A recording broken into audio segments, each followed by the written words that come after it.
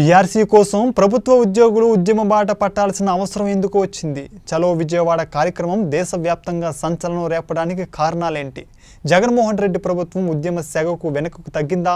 ఉద్యోగుల సమ్మె భయంతో మరలా చర్చలకు ఆహ్వానించారా? కనీసం ఇప్పుడైనా ఉద్యోగుల న్యాయపరమైన డిమాండ్లు పరిష్కారం అవుతాయా?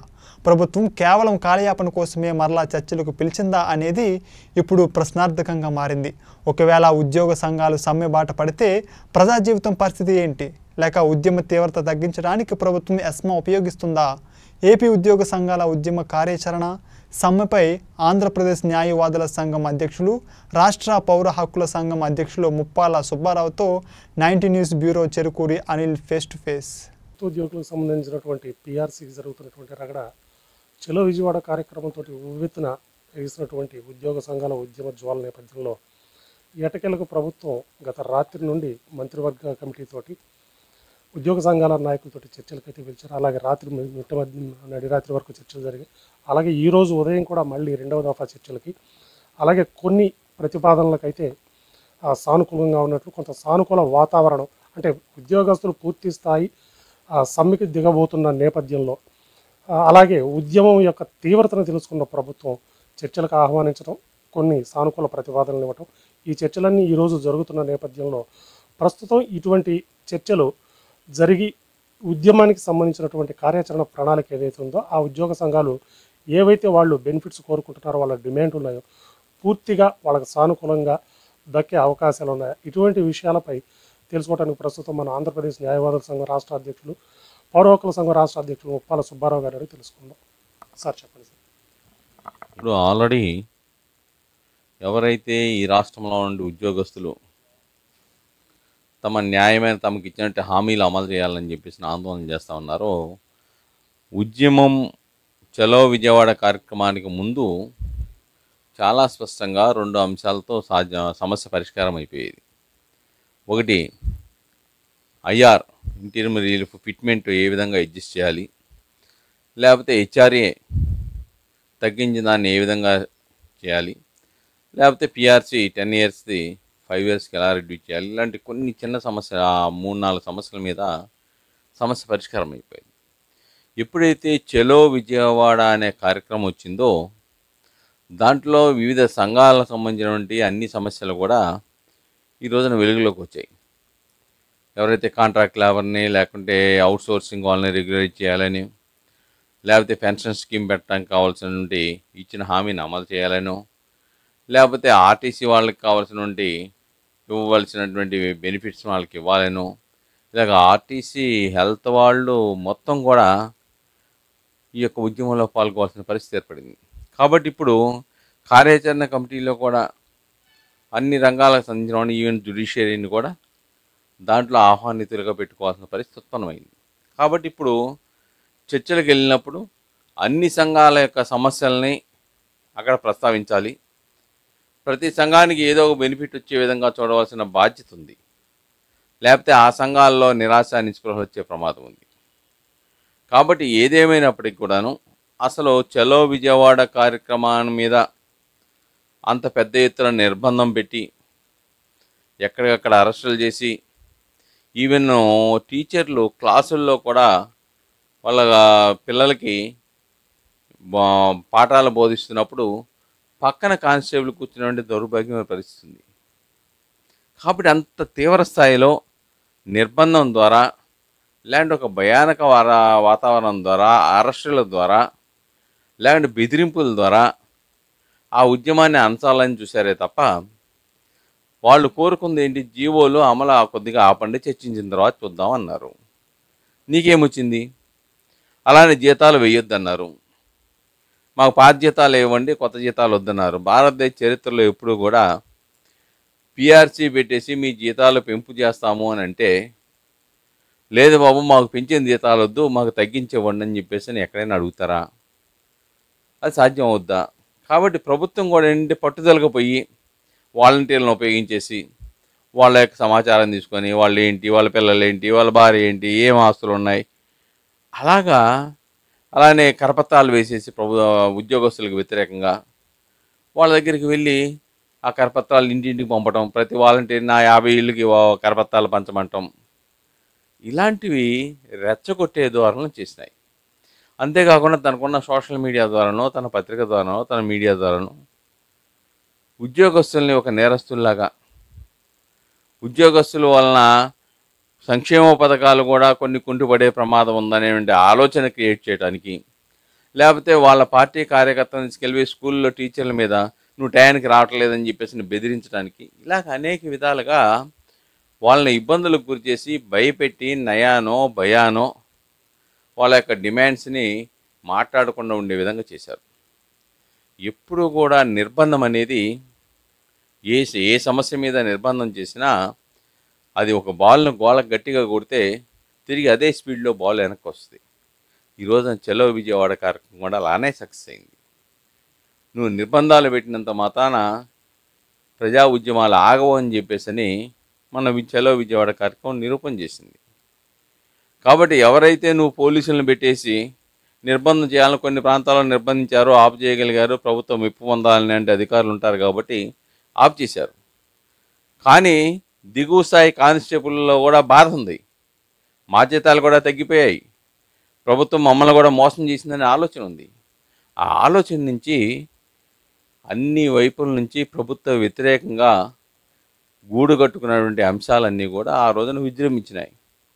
చివరికి ప్రభుత్వం అబ్బెబ్బెబ్బే సజ్జల రామకృష్ణారెడ్డి లాంటి వాళ్ళు అవేవే మేము కఠినంగా ఉంటే వాళ్ళు ఎక్కడొస్తారు ఎంతమంది అనే పరిస్థితికి వచ్చాడు కానీ ప్రజలకు తెలిసింది మీడియా చూపించింది ఎక్కడెక్కడ ఎలా నిర్బంధం చేశారో ఎక్కడెక్కడ అరెస్టులు చేశారో ఈవెన్ చెక్ పోస్టుల దగ్గర ఏం చేశారు అలాంటి టోల్ గేట్ల దగ్గర ఎలా పట్టుకున్నారు కార్లని ఎక్కడ పోలీస్ స్టేషన్లో నిర్బంధించారు ఇవన్నీ మీడియా చూపించింది. అలానే పెళ్ళి పెళ్ళి బస్సు వా- అనే పేరుతో వివాహం సంబంధించిన వ్యక్తుల బొమ్మలు వేసేసి పెళ్ళి వాహనం అని చెప్పేసి అని వస్తున్నప్పుడు దాన్ని ఎలాగా ఆపారో చెప్పింది. ఇవన్నీ మరి నిర్బంధాలు కదా? కానీ ఇప్పుడు సక్సెస్ అయిన తర్వాత ప్రభుత్వం ఏం చెప్పాలో తెలియని పరిస్థితుల్లో అవి మేము పెద్ద నిర్బంధం పెట్టలేదు అందుకే విజయవంతమైంది మేము నిర్బంధం పెడితే వాళ్ళు ఎక్కడ వస్తారు అని చెప్పుకునే పరిస్థితి వచ్చింది. ఈ రోజున ఆ ఉద్యమం ఫలితంగానే ప్రభుత్వం కూడా పునరాలోచనలో పడింది. ఎస్ ఇంత స్పందన ఉందా? కా ఉద్యోగస్తుల్లో ఇంత వ్యతిరేకత ఉందా? సంథింగ్ ఏదో కొన్ని కొన్ని అయినా పరిష్కరించాలనే ఆలోచనకు వచ్చింది. దాని ప్రకారమే చర్చలు జరుపుతూ ఉంది. ఆ చర్చల్లో నిన్న జరిగిన చర్చల్లో పిఆర్సీ ఏదైతే పది సంవత్సరాల వరకు అని చెప్పారో దాన్ని ఐదు సంవత్సరాలకు తగ్గిస్తామని చెప్పారు. సరే మిగతాది వాళ్ళు కూర్చుంటున్నారు. చర్చలు ఏం జరుగుతాయో చూడాలి. ఏదేమైనప్పుడు కూడాను ఉద్యోగ సంఘాలు చాలా స్పష్టంగా చెప్పినాయి. చర్చలు సానుకూలంగా జరుగుతున్నాయి కానీ సఫలీకృతం అవ్వలేదు. కాబట్టి మన పెన్ డౌన్ ఏదైతే ఈ రోజు నుంచి ప్రారంభించారో అది యథావిధిగా కొనసాగుతుంది. మా సమస్యలు పరిపూర్ణంగా పరిష్కరించే వరకు చర్చలకు వెళ్తాము. ప్రభుత్వం సానుకూలంగా వస్తే అప్పుడు ఆలోచిస్తామని చెప్తున్నారు తప్ప ఉద్యమ కార్యాచరణని ఆపుతామని అయితే ఉద్యోగస్తులు చెప్పట్ల. అంటే ఈ రోజు కనుక చర్చలు సఫలీకృతం కాకపోయినట్లయితే ఒకవేళ రేపు రాత్రి నుంచి అంటే రేపు ఆరో తేదీ అర్ధరాత్రి నుంచి సమ్మె బాట పట్టవలసి వచ్చినప్పుడు అసలు తర్వాత పరిస్థితులు పరిణామాలు ఏ విధంగా ఉండబోతాయి? ఎప్పుడైతే ప్రభుత్వం కనుక సానుకూలంగా రాకపోతే ఉద్యోగస్తులు సమ్మెలోకి కనుక వెళ్తే డెఫినెట్గా మరింత నిర్బంధం ఉద్యోగస్తుల మీద ఉంటుంది. ఒకటి ఏంటంటే వాళ్ళ మీద కేసులు పెట్టొచ్చు. లేదంటే గతంలో తమిళనాడులో చూసాం మనం సంఘటన. తమిళనాడులో ఏ విధంగా అయితే ఎస్మా పెట్టేసి అందరినీ ఉద్యోగస్తులను తొలగించారు. తర్వాత న్యాయస్థానాలు న్యాయస్థానాల తర్వాత మళ్ళీ ప్రభుత్వం దిగి రావటం ప్రభుత్వం మళ్ళా చర్చలు జరపటం. లేదు తొలగించిన వాళ్ళందరినీ కూడా మళ్ళీ విధుల్లో తీసుకుంటాము. సమ్మికాలానికి కూడా జీతం ఇస్తామని చెప్పేసి అని జరిగిన సంఘటన మనం చూసాం. ఇక్కడ ఒకటి గత అనేక ఉద్యోగస్తుల ఉద్యమాలు. ఎందుకంటే వాళ్ళు గత దాదాపుగా డెబ్బై సంవత్సరాల నుంచి సాధించుకున్నటువంటి హక్కులు ఇప్పుడు ఒక్కసారిగా కుప్పకూలిపోయేటప్పటికి ఎవరికైనా కానీ ఆవేశాలు వస్తాయి అన్యాయం జరుగుతుందండి ఆలోచన వస్తుంది. కాబట్టి ప్రభుత్వం ఏం చెప్తుందంటే ఆర్థికంగా మేము ప్రభుత్వం ఇబ్బందుల్లో ఉంది కాబట్టి మీరు జీతాలు దగ్గర విషయంలో కొద్దిగా సానుకూలంగా మాకు సహకరించండి అని చెప్తా ఉంది. ఇక్కడ ప్రజలకు కానీ మేధావులకు కానీ ఇలాంటి ఉద్యోగస్తులు కానీ అర్థం కాని సమస్య ఏంటంటే అయా నువ్వు సంక్షేమ పథకాలు పెట్టుకున్నప్పుడు ఫుల్ పేజీ అడ్వర్టైజ్మెంట్ మీ పేపర్తో సహా ఇచ్చుకుంటున్నావు. కోట్లాది రూపాయలు ఖర్చు పెడతామన్నావు అలానే ఎమ్మెల్యేలకి మినిస్టర్లకి మీ జీతాలు పెంచుకున్నావు. అలాగనే నువ్వు సలహాదారులని చెప్పేసి అని సలహాదారుడికి మూడు లక్షల రూపాయలు జీతం ఇస్తున్నావు సో నెలకి. వాహనం ఇస్తున్నావు ఉద్యోగులను పెట్టుకుని అంతమంది సలహాదారులు ఎందుకు ఆర్థిక ఇబ్బందులు ఉన్నప్పుడు? అలాగనే నువ్వు అనవసరమైన కోర్టు లిటిగేషన్లో లేకుంటే పార్టీ రంగుల కార్యాలయాలు గేయటం లేకపోతే అలానే ఇంగ్లీషు బోధనలనో లేకుంటే అమరావతి రైతుల మీద ఎందుకు కోట్లాది రూపాయలు ప్లేయర్లకు ఇచ్చేసి ఫీజులు పెట్టేసి ఖర్చు పెడతా ఉన్నావు? కాబట్టి ఇక్కడ చాలా స్పష్టం. ఆర్థిక భారం ఉన్నప్పుడు నువ్వు చేయవలసిన కార్యక్రమాలు తగ్గించాలి. నువ్వు చే నీకు సలహాదారులను తగ్గించుకో. లేకుంటే అడ్వర్టైజ్మెంట్లు తగ్గించేసుకో. లేకుంటే మిగతా అన్ని తగ్గించేసుకో. అవేమో యథావిధిగా కొనసాగిస్తూ నువ్వు ఎమ్మెల్యేల జీతాలు పెంచేసుకుంటూ నువ్వు శాసనమండలి ఏమన్నావు? ఈ రాష్ట్రంలో ఆర్థిక భారం పడుతుంది కాబట్టి శాసనమండలి రద్దు చేయాలి అన్నావు. అసెంబ్లీలో తీర్మానం చేసావు కేంద్రానికి పంపించావు. ఈరోజు నీకు అధికారం రాగానే శాసన మండలిని ఏం చేస్తున్నావు? అవే శాసన మండలి మంచిదే అని చెప్పేసి ఇంకా దాని గురించి ప్రస్తావించట్లా. కాబట్టి అవకాశవాద రాజకీయాల నుంచి ఆర్థిక పరిస్థితిని చూడటం అనేది సరైంది కాదు. ఇంకోటి ఏంటంటే ఆల్రెడీ భారత రాజ్యాంగం చాలా స్పష్టంగా చెప్తా ఉంది. ఎప్పుడు ఉద్యోగుల యొక్క జీతాలు తగ్గిస్తారంటే ఆ రాష్ట్రంలో ఫైనాన్షియల్ ఎమర్జెన్సీ వచ్చినప్పుడు రాష్ట్రపతి మాత్రమే జీతాలు తగ్గించే అధికారం ఉంది. ఎప్పుడైతే ఫైనాన్షియల్ ఎమర్జెన్సీ ఆర్థికపరమైనటువంటి ఎమర్జెన్సీ ఎప్పుడైతే వచ్చిందో భారత రాజ్యాంగం అధికరణ మూడు వందల అరవై ప్రకారం ఈ రాష్ట్రంలో ఫైనాన్షియల్ ఎమర్జెన్సీ ఫైనాన్షియల్ ఎమర్జెన్సీ విధించాలి. దానికి సానుకూలమైన పరిస్థితులు ఉన్నాయని చెప్పేసి నువ్వే చెబుతున్నావు ప్రభుత్వం. కాబట్టి ప్రభుత్వం కూడా ఆలోచించాలి. ప్రభుత్వం ఆలోచించి అనవసరమైన ఖర్చులు మానుకొని అవసరమైన ఖర్చులు రాష్ట్ర ఆర్థిక అభివృద్ధి చెందే విధంగా పారిశ్రామిక అభివృద్ధి విధంగా యువతకి ఉద్యోగాలు ఆయన ప్రభుత్వం కూడా చెప్తా ఉంది. లేదు లేదు ఉద్యోగస్తులారా మీకు ఎంత న్యాయం చేశాను చూడండి. అరవై నుంచి అరవై రెండు సంవత్సరాలకు పెంచాను మేము ప పనిచేసే సమయాన్ని. కాబట్టి రెండు సంవత్సరాలు పెంచాను మీకు అంటుంది. రెండు సంవత్సరాలు ఉద్యోగస్తుల మీద ప్రేమతో పెంచలా నువ్వు. నీ ఉద్యోగస్తులు రిజైన్ చేస్తే నువ్వు ఇప్పటికే సంవత్సరమో రెండు సంవత్సరాల వరకు వాళ్ళు రిటైర్మెంట్ బెనిఫిట్ ఇవ్వలేని పరిస్థితిలో ఉన్నావు. కాబట్టి ఉద్యోగస్తులు పొలవమని కనుక రిటైర్డ్ అయిపోతే ఆర్థిక పరిస్థితి నుంచి వాళ్ళకి కావాల్సిన డబ్బులు ఇవ్వలేకపోతాం కాబట్టి నీ యొక్క ఇవ్వలేనితనాన్ని దృష్టిలో పెంచుకొని నువ్వు పెంచావు తప్ప వాళ్ళ మీద ప్రేమతో పెంచలా. ఇంకో వాదన కూడా వినపడతా ఉంది.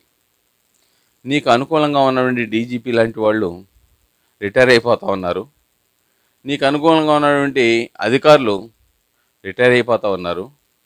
కాబట్టి వాళ్ళకు ఒక రెండు సంవత్సరాలు పెడితే మీకు అటు పోలీస్ యంత్రాంగం నుంచి ఇటు సిఐడిల నుంచి సిఐడి డిపార్ట్మెంట్ నుంచి అలానే పొల్యూషన్ కంట్రోల్ బోర్డు నుంచి ఏసీబీ నుంచి అలానే మీదికి అనుకూలంగా ఉన్నటువంటి తప్పుడు సలహాలు ఇచ్చేటువంటి అధికారుల దగ్గర నుంచి వీళ్ళందరికి కూడా ఉపయోగం జరుగుద్దని ఇచ్చామని మరొక ఆరోపణ జరుగుతూ ఉంది. ఏదేమైనప్పుడు కూడాను అడగని దాన్ని నిన్నెవడమన్నాడు? ఉద్యోగస్తులు ఏమి అడగలేదు కదా? మాది అరవై సంవత్సరాల నుంచి అరవై రెండు సంవత్సరాలకు పెంచండి బాబు అని వాళ్ళ డిమాండ్స్లో ఏమైనా ఉందా? డిమాండ్స్ ఉన్నదాన్ని మా పక్కన పెట్టేసి వాళ్ళు డిమాండ్ చేయనటువంటి అంశాన్ని మేము చేశామని చెప్పేసి అని గొప్పగా చెప్పుకోవడం అనేది సరైన విధానం కాదు. ఏదేమైనప్పుడు కూడా ప్రభుత్వం ఉద్యోగులు చేస్తున్న డిమాండ్. ఎందుకంటే చాలా స్పష్టంగా కనపడుతున్నాయి.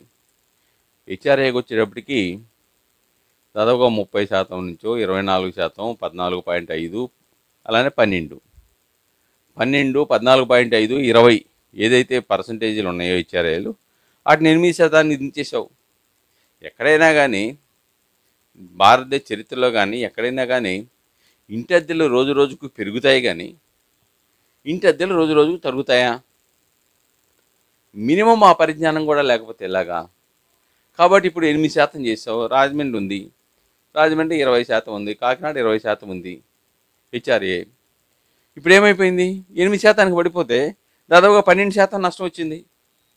నా పన్నెండు శాతం తగ్గిపోతే ఆటోమేటిక్గా వాళ్ళ ఉద్యోగాలు తగ్గవా జీతాలు తగ్గవా?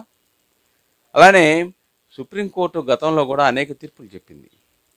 అసలు ఏదైతే ప్రభుత్వ ఉద్యోగస్తులకి ఇచ్చా చెల్లించారో జీతాల రూపాయన కానీ ఐఆర్ రూపాయన కానీ ఇలాంటి పే రివిజన్ త- సంబంధించి పెంచి ఇచ్చారో ఆ సొమ్మును రికవరీ చేసుకునే హక్కు లేదు అని చాలా స్పష్టంగా గతంలో సుప్రీంకోర్టు తీర్పులు చెప్పినాయి.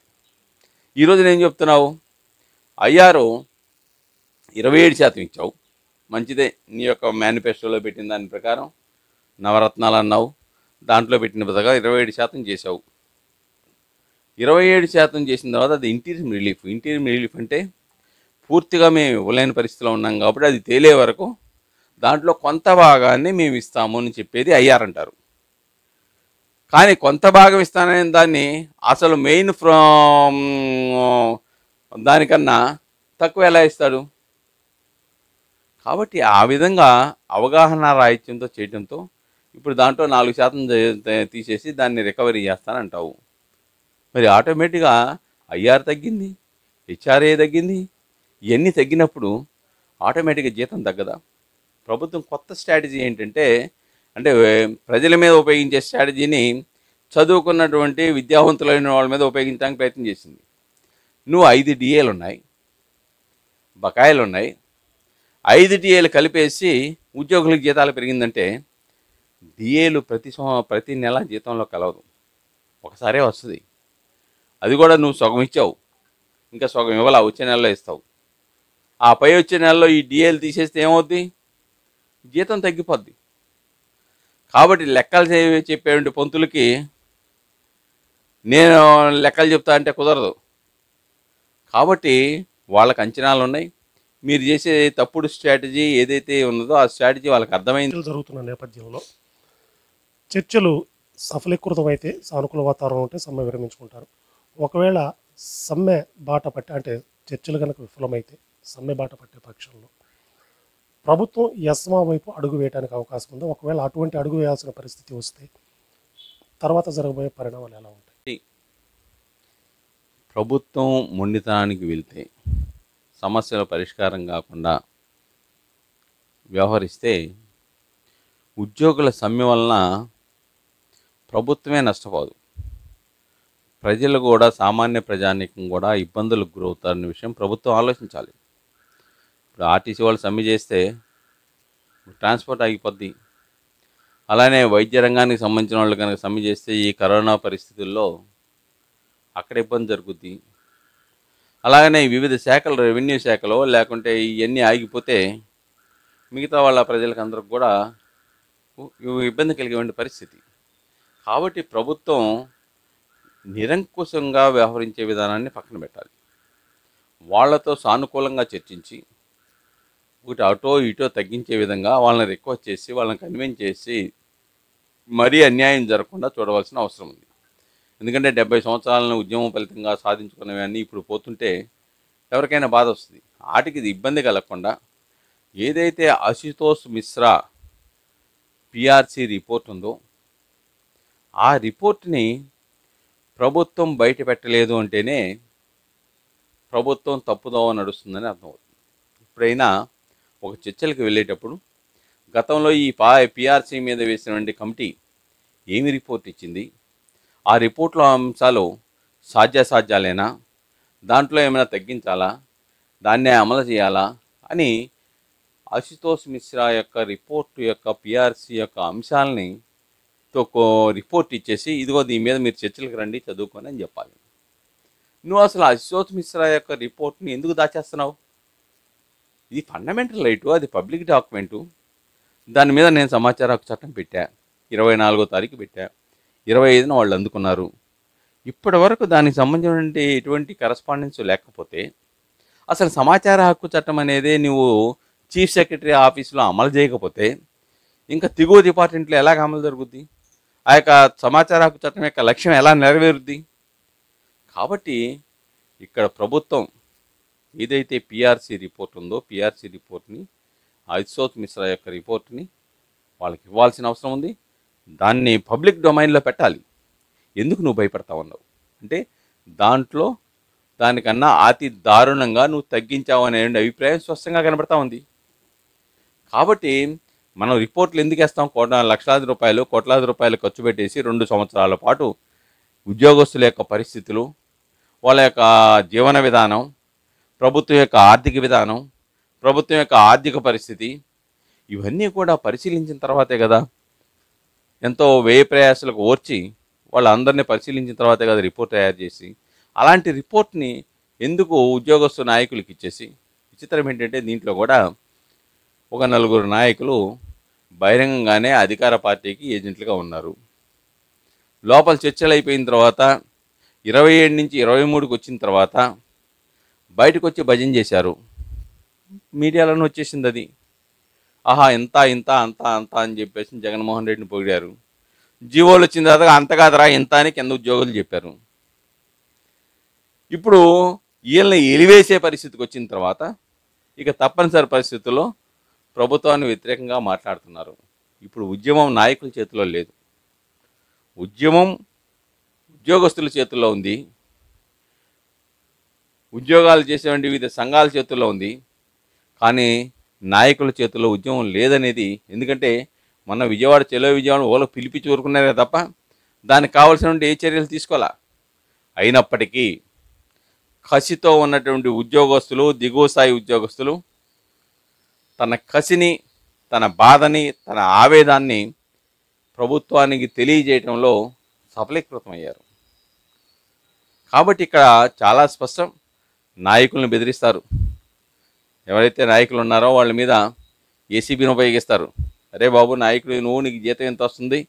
నువ్వు ఎలాగ ఆ బిల్డింగ్ కట్టుకున్నావు? ఎలాగ ఈ భూములు కొన్నావు? ఎలాగ ఇది చేసావు ఎలాగ ఈ చేసావు ఇవన్నీ ఉపయోగిస్తారు.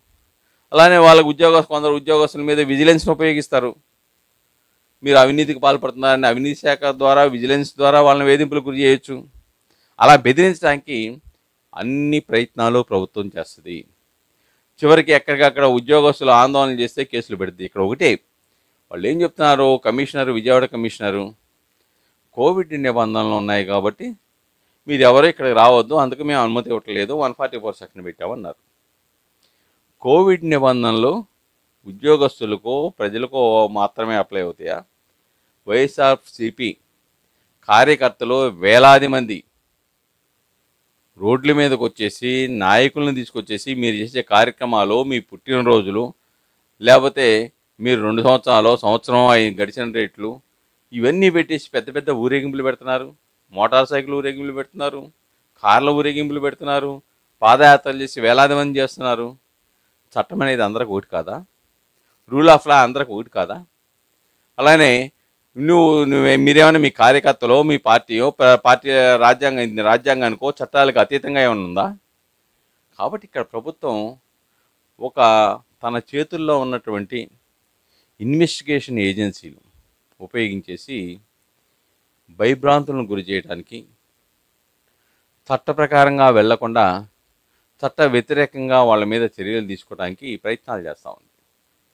కాబట్టి ఈ పోలీసో సిఐడియో లేకపోతే మిగతా డిపార్ట్మెంట్లు ఏవైతే ఉన్నాయో ఇవన్నీ కూడా పొల్యూషన్ కంట్రోల్ బోర్డు కానీ ఏసీబీ కానీ విజిలెన్స్ కమిషన్స్ కానీ ఇవన్నీ కూడా తమ విధులు చట్ట పరిధిలో చేసే విధంగా ఉండాలి. కాబట్టి తమ పోలీసులను ఉపయోగించేసి రాజ్యహింస ద్వారా అలానే రాజ్యాంగ హక్కులను హరించడం ద్వారా రాజ్యాంగ హక్కులకు వ్యతిరేకంగా ప్రయత్నించడం ద్వారా ఏదో భయప్రాంతులు చేసి మనం మన మాటకి వెదురు తిరగకుండా మనం ఏది చెప్తే అదే వేదవనాలు తప్ప మనం చేసే విధానాలను కానీ వ్యతిరేకంగా మాట్లాడే కానీ భావ వ్యక్తీకరణ స్వేచ్ఛ కానీ మేము ఉండటానికి వీలు లేదు అని చెప్పేసిన ఆలోచనలు ఉంటే ప్రభుత్వం చాలా ఇబ్బందుల్లో పడుద్దనే అనే విషయాన్ని ప్రభుత్వం గమనించాలి. ఇప్పుడు ఎస్మా ఉంది.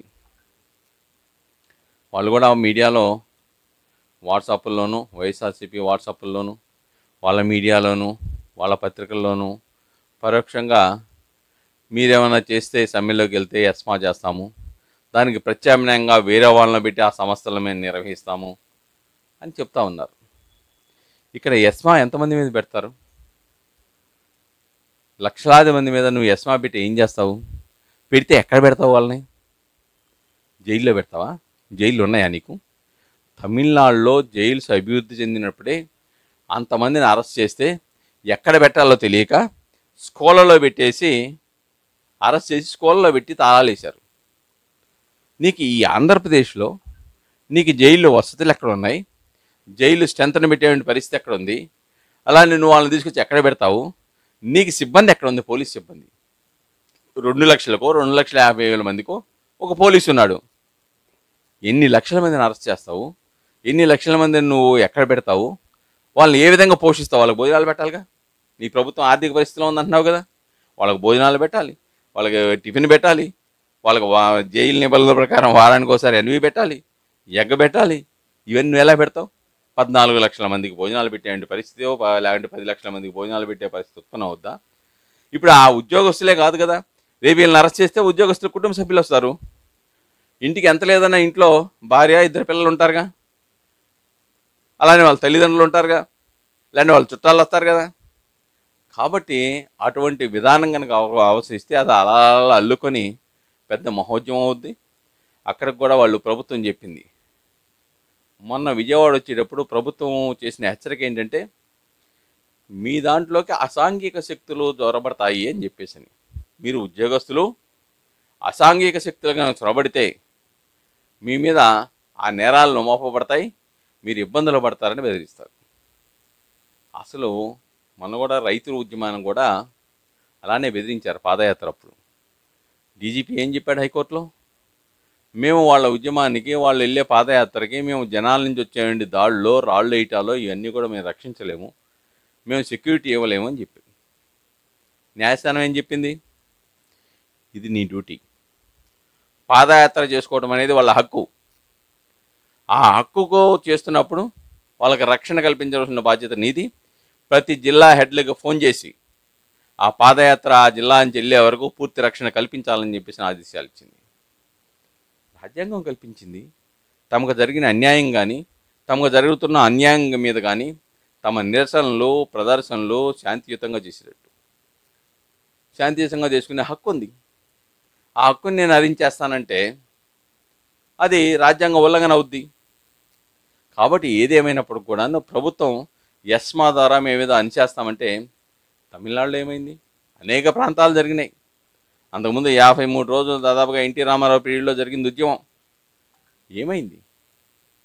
చివరికి ప్రభుత్వం ఆలోచించే పరిస్థితి తీసుకురాలేదా వీళ్ళ ఉద్యమం? చివరికి వాళ్ళ సమస్యలు పరిష్కరించబడలేదా? కాబట్టి దేశంలో ఎక్కడ జరిగినా ఎక్కడ ఉద్యమాలు జరిగినా కానీ ఉద్యోగస్తులది అక్కడ డెఫినెట్గా ఏదో ఒక రోజుకి సామరస్యపూర్వకంగా ప్రభుత్వంతో చర్చలు జరుగుతాయి. ప్రభుత్వం కూడా పట్టుదలకు పోకుండా పట్టు విడుపులకు వచ్చి ఉద్యోగస్తులతో చర్చలు జరిపేసి ఆ యొక్క సమస్యను పరిష్కరణ సంఘటనలు మనం ఈ దేశ చరిత్రలోనే చూసాం అనేక రాష్ట్రాల్లో.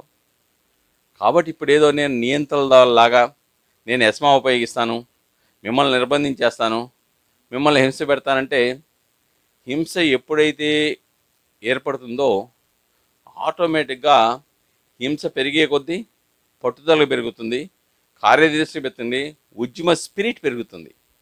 మీరు మనం నిర్బంధం చేయడం ద్వారానే వాళ్ళు మారు వేషాల్లో వచ్చే పరిస్థితికి వచ్చింది. అది ఉద్యమ స్పిరిట్.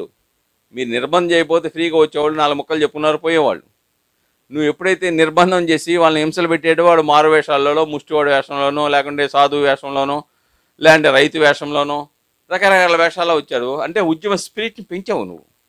ఎప్పుడైతే నువ్వు ఉద్యమ స్పిరిట్ని పెంచావో ప్రభుత్వం ఇబ్బందులకు గురవుతుంది ప్రైవేటు ఉద్యోగస్తుల ద్వారా చేయిస్తామంటే అంత ఈజీ ఏం కాదు. వాళ్ళకి తెలుసు. కాబట్టి ప్రభుత్వం కూడా పట్టుదలకు పోయిపోయి నిర్బంధ చట్టాలు నల్ల చట్టాలు ఉపయోగిస్తాము.